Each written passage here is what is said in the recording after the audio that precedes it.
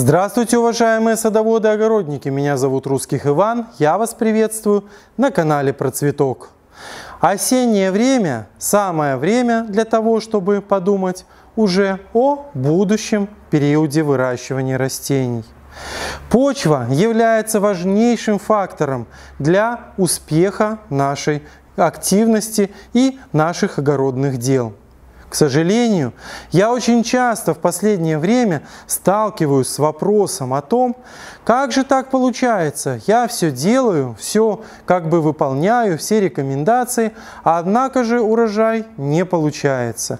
Или на одном участке я высаживаю одни растения, на другом участке те же самые растения, те же сорта с теми же самыми характеристиками и сроками посадки. Уход все одинаково, но на этом участке все бушует, а на этом участке ничего не получается. Казалось бы, самый главный фактор здесь будет почва, разница почвенного плодородия.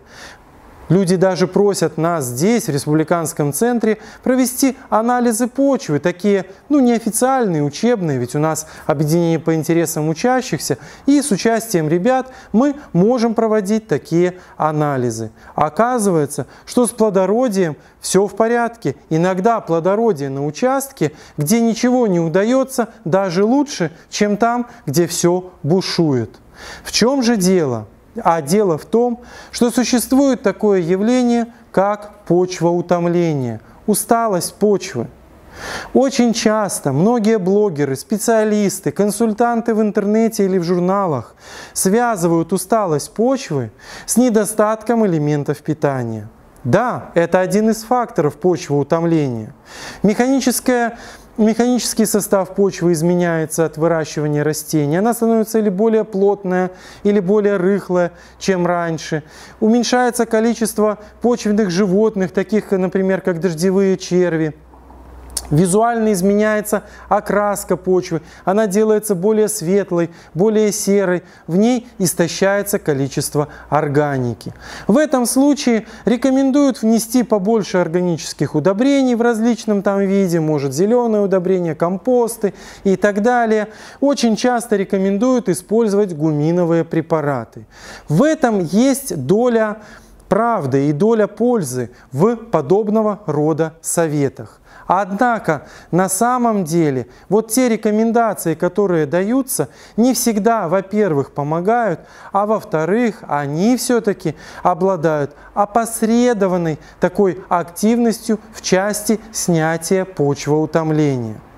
Почвоутомление очень часто, чаще всего связано с корневыми выделениями растений – Растения в ходе эволюции выработали у себя свойство такое выделять, корни, корни выделяют различные вещества, в том числе токсичные для других растений.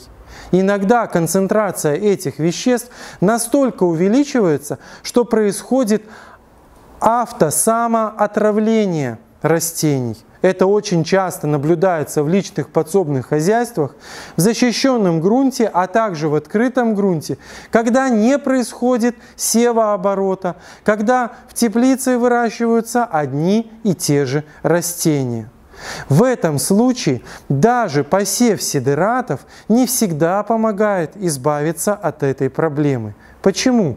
Сидераты будут расти довольно хилыми, потому что вот эти вещества, которые выделяют томаты, огурцы и так далее, будут подтравливать эти сидераты, ведь они накопились в большом количестве.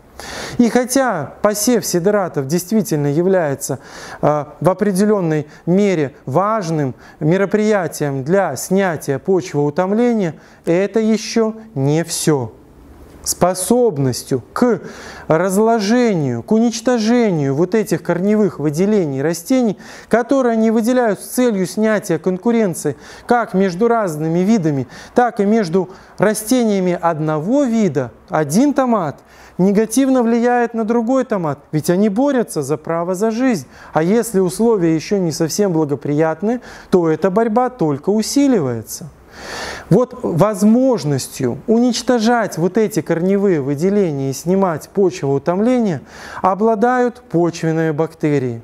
В первую очередь это бактерии из рода псевдомонос колоссальной способностью к почвовосстановлению и уничтожению фенольных, даже фенольных соединений, выделяемых растениями, обладает псевдомона путида.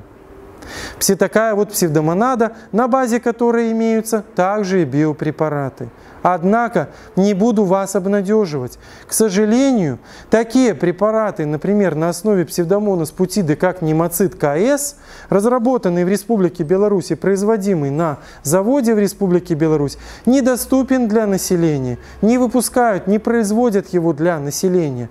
Он единственный, который помогает справиться с нематодой в тепличных хозяйствах и в открытом грунте и является на сегодняшний день достаточно дефицитным. Однако существует еще три препарата, созданных на основе псевдомонад. Можно сказать, что это достаточно уникальные препараты, потому что большинство препаратов, которые вы можете встретить в магазинах, это препараты на основе сенной палочки. Один из таких препаратов на основе псевдомонад – это живой препарат стимул. Он содержит в своем составе бактерию, которая называется псевдомонас fluorescens. Это очень активная бактерия, которая выделяет много пиавердина, которая способна разлагать различные субстраты, использовать для своего питания. В том числе она является сильным хелатирующим агентом, делает доступными те минеральные микроэлементы, которые недоступны, особенно недоступны растениям при почвоутомлении, а также прекрасно разлагает вот эти вот всевозможные аллелопатические выделения растений, приводящие к угнетению наших сельскохозяйственных растений, овощных в первую очередь, которую мы выращиваем в теплицах и на грядках в открытом грунте. Еще два препарата содержат в себе э, другую псевдомонаду. Это препараты аурин и гулливер.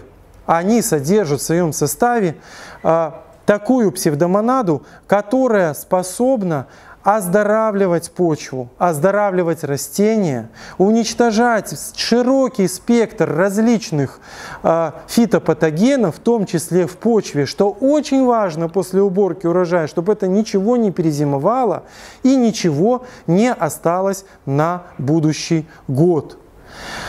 А, вот эта псевдомонас ауреус, такая золотая псевдомонада, ауреум это золото – содержащаяся в живом виде в этих препаратах, является прекрасным подспорьем для почвовосстановления, для уничтожения фитопатогенов и для подготовки вашей почвы на будущий год к выращиванию растений. Это особенно важно для участков, когда невозможно нормально организовать севооборот и чередовать различные культуры. Помидоры по помидорам, огурцы по огурцам и так годами, годами, годами.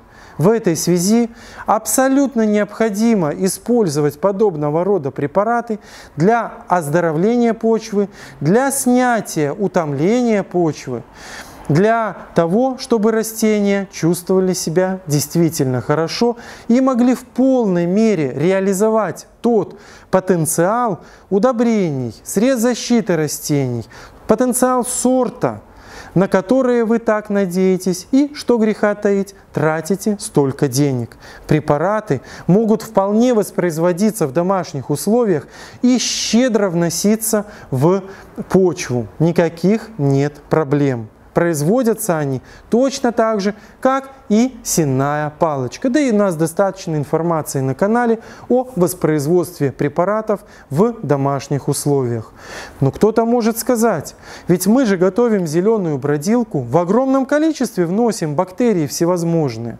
Однако, как показывает практика, вот даже мы в нашем кружке, в нашем объединении по интересам с ребятами делали анализ почв защищенного грунта. Ну, мы просили просили людей, чтобы они привозили у себя, даже сотрудники центра, э, привозили свою почву, и чтобы мы их проверили на содержание фитопатогенов и на содержание полезной микрофлоры. К сожалению, вот эти группы бактерий встречаются наиболее ценные не так уж и часто. Поэтому заселение ими почв защищенного грунта и грядок, где вы регулярно выращиваете овощные растения, является очень важным, как я еще раз повторюсь, особенно для участков, которые давно эксплуатируются с целью получения овощной продукции. Не игнорируйте эти препараты. Используйте их, используйте их в комплексной технологии, безопасного выращивания растений с очень высокой отдачей и с высоким эффектом. Использование, разумное использование гуминовых препаратов и использование, широкое использование бактериальных препаратов на основе псевдомонад в достаточной мере решат проблему почвоутомления. Я желаю вам, чтобы почвы начала нашего урожая были у вас здоровыми, плодородными и обеспечивали ваши растения всем необходимым, а вас богатым урожаем, который будет приносить только радость. Что ж, на этом я прощаюсь с вами. До новых встреч! thank you